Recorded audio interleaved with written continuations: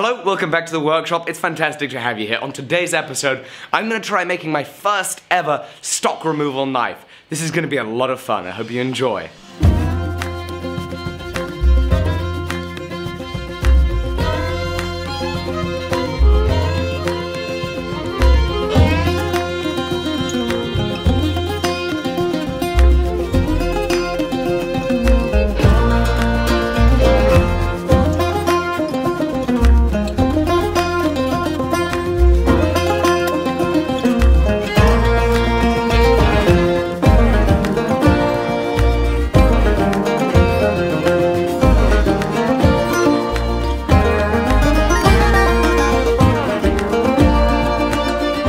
I messed up. That steel was way too thin, so I'm gonna start off with another piece of steel. This time this is a piece of 1080 instead of that saw blade. Hopefully make a stouter knife, make a better knife.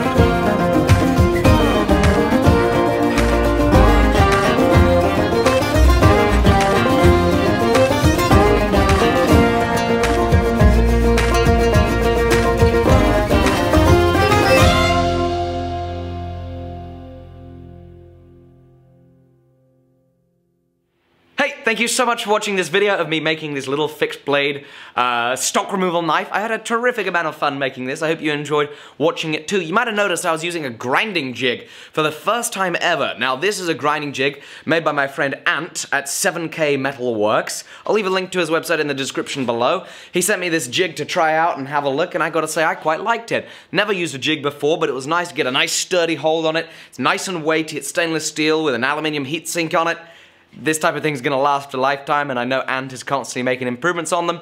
So I, from my layman's perspective, I can certainly say that this seems like a really good bit of kit, this little grinding jig. There's a link to his website down below if you want to support a small business owner and get yourself a cool grinding jig. Please do so. Let him know I sent you. That'd be awesome. I hope you have a fantastic day. Be sure to hit a like and subscribe. I look forward to seeing you tomorrow on the very next episode of Daily Steele. It's a pleasure as always and I'll see you soon.